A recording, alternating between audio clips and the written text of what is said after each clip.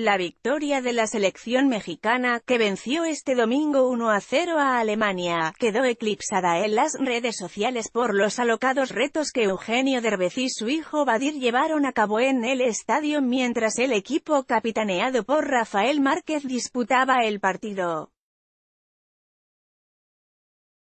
Desde bailar como un gallo frente a la multitud, hasta quitarle la gorra a un aficionado, el reconocido comediante y en el joven actor protagonizaron divertidos desafíos que poco a poco fueron subiendo de tono hasta que finalmente un agente de seguridad terminó sacándolos del lugar.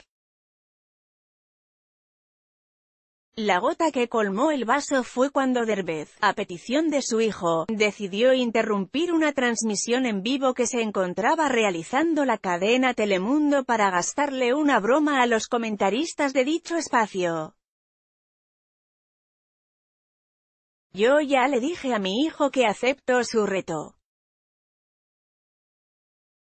Lo voy a aceptar, pero siempre y cuando tú hagas algo, o sea, si yo me atrevo a interrumpir un programa, tú te vas a meter delante de todos los aficionados y te vas a bajar los pantalones. Si lo haces yo te juro que me meto, le dice el comediante a su hijo durante un vídeo que fue compartido a través de las redes sociales. Pero echas desmadre.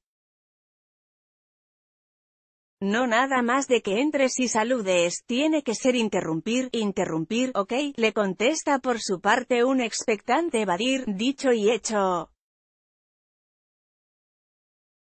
La inesperada irrupción de Eugenio durante la transmisión de Telemundo tomó por sorpresa a todos los presentes, especialmente a sus dos presentadores que no se esperaban que el comediante fuera a interrumpir de esa forma tan cómica la transmisión.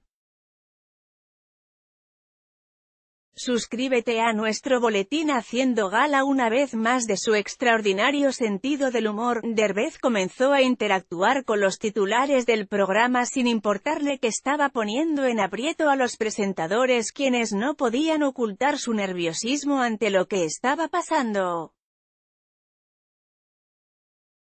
Tras varios minutos bromeando con los periodistas y ante la negativa del comediante de abandonar la transmisión en vivo pese a la petición de un miembro del equipo de producción, un integrante de seguridad del Estado terminó sacándolo a la fuerza.